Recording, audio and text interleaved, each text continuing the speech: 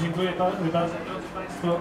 To jest y, właśnie ta chwila. Odsłaniamy słonie, odsłaniamy pierwszy Sopocki i prawdopodobnie pierwszy polski fotopomnik. Pan Tadeusz Naukę, Panie Tadeuszu, bardzo proszę.